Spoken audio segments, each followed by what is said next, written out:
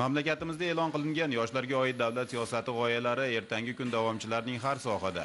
Jumladan ma'lum bir kasb egasi bo'lib yetishib kelajakda o'z turmush farovonligiga ega bo'lishi bilan ham bog'liq. Shu g'oyalardan kelib chiqib farg'ona viloyatida ham kasb hunar maktablari faoliyati tashkil etilgan. Bu buvayda tumanidagi ikkinchi sonli kasb hunar maktabi.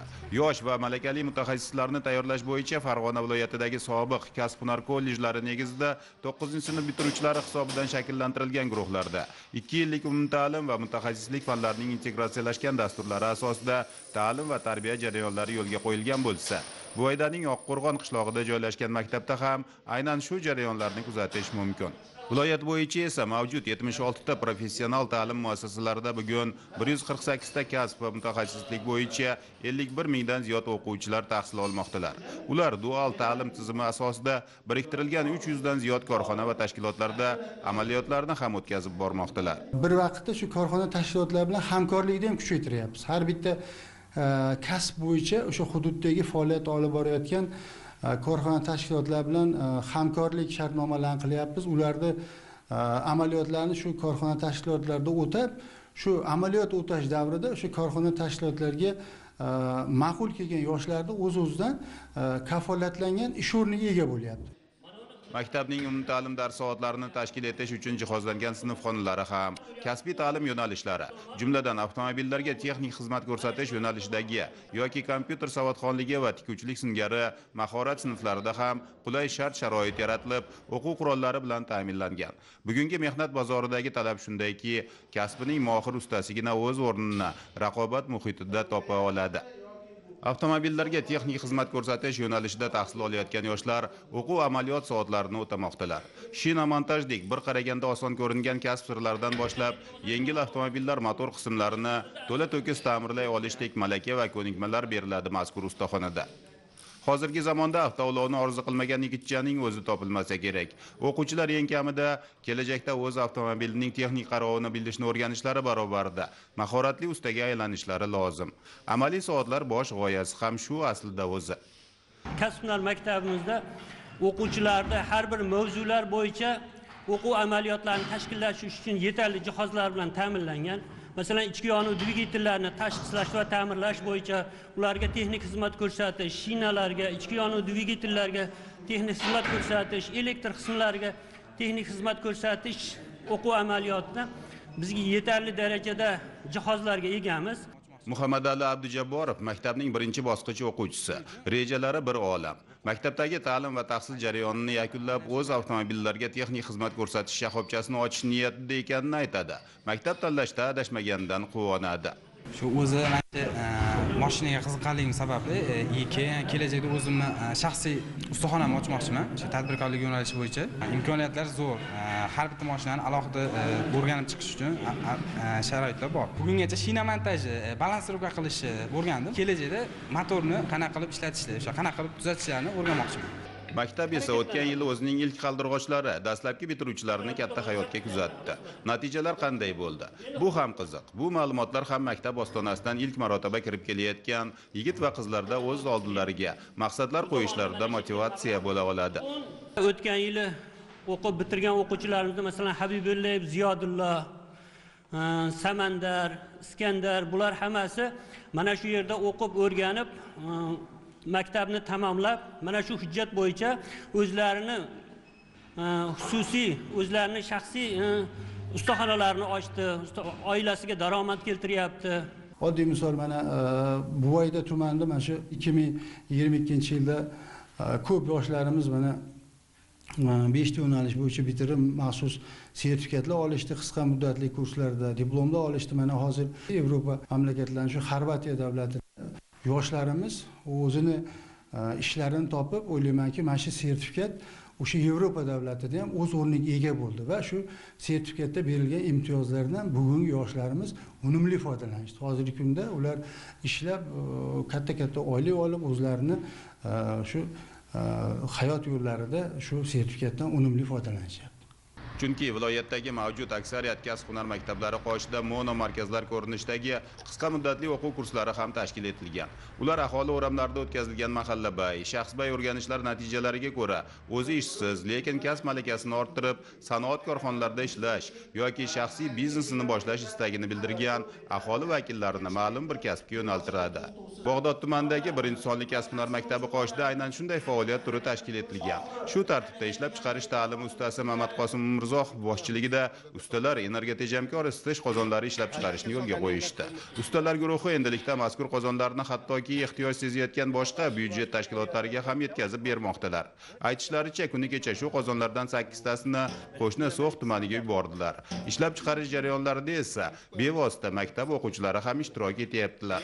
Men hozir mana shu yerda chilangarlik va elektr gaz payvandlash fanidan dars beraman. Bolalar o'quvchilarga o'rgataman. O'zim gaz payvandlashdan ishlayman ham uyimda ham ish qilganman. Shogirdlarim bor mana shu yigitlarni ichida ham shogirdlarim bor hozir bugungi kunda.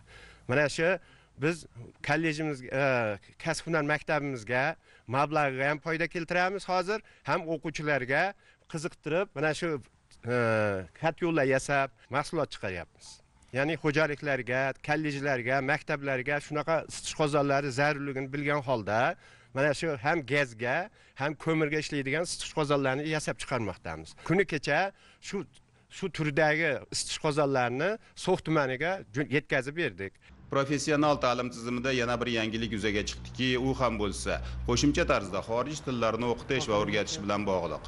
Mana bu dars soatlari uchko'prik tumanidagi ikkinchi sonli kasb hunar maktabida tashkillangan. Maktabda mingdan ziyod o'quvchi o'n bitta kasb yo'nalishida ta'lim oladi. Endilikda maktabdagilar ingliz nemis va rus tillarini qo'shimcha fakultativlar dars soatlari yoki repetitorlik kurslari ko'rinishida olib bormoqdalar. Masalan qo'shtegirmon qishlog'idan kelib oshpazlik kasbini o'rganayotgan gulmira ham Murod qishlog'ining umumta'lim maktabida o'quvchi shahrizodaxon ham shu dars soatlarida xorij tillarini o'rganyaptilar. Boisi buning uchun maktabda malakali pedagoglar jamoasi shakllangan. Uchko'prikdagi birinchi sonli kasb hunar maktabida esa bugun mingdan ziyod o'g'il va qiz kasb sirlarini o'rganmoqda. Payvandlovchi avtomobillarni ta'mirlash chilangarlik elektromontyor oshpaz qandolatchi tikuvchi bichuvchi kabi 8 ta yo'nalishda ular kasbiy malaka orttiradilar. Ana prezidentimiz bu borada Э, ta'lim soha vakillari bilan bir necha marotaba uchrashuvlar o'tkazib bu borada biz pedagoglarni e, yelkasiga juda yam katta bir mas'uliyat yuklashdi.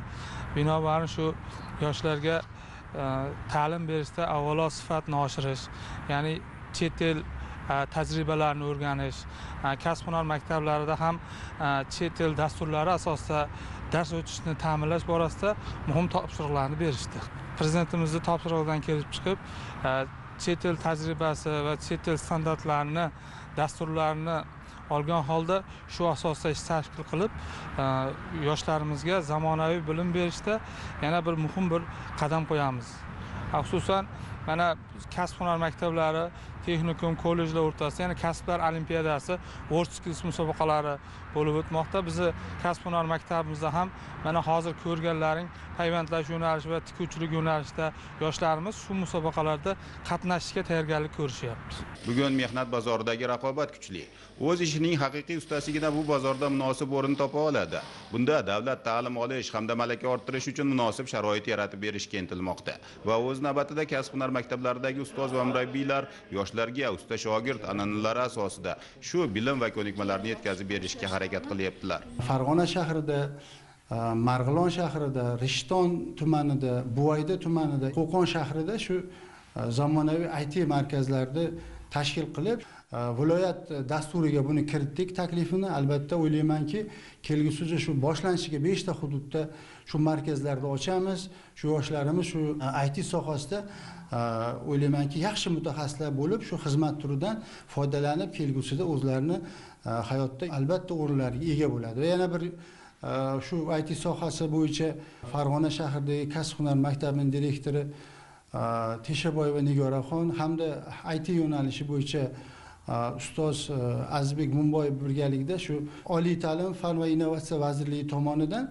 shu buyuk britaniya davlatiga e, shu bir haftalik dastur asosida tajriba almashishga yuborilyapti. O'sha linkoln shahridagi linkoln kollejiga e, shu e, direktorimiz bilan IT yo'nalishdagi ustozimiz tashrif kachirib yurishib albatta o'zlarini shu IT yo'nalishdagi e, tajribalarni o'rtoqlashib almashib tajriba almashgani ketishyapti. Albatta bu ham e, davlatimiz tomonidan shu Э, IT sohasiga berilayotgan e'tiborni bitta namunasi deb o'ylayman. Ayni chog'da pedagoglar ustoz murabbiylar ta'limga daxldor barcha mas'ullar oldida yana ko'plab yechimini kutayotgan masalalar ham borki u ham bo'lsa dunyo miqyosidagi bugungi keskin raqobatga bardosh bera oladigan milliy ta'lim tizimini yaratish darslik va o'quv qo'llanmalarini zamon talablari asosida takomillashtirish ularning yangi avlodini yaratish o'quv dasturlari va standartlarini optimallashtirish kabi jihatlar bilan bog'liq.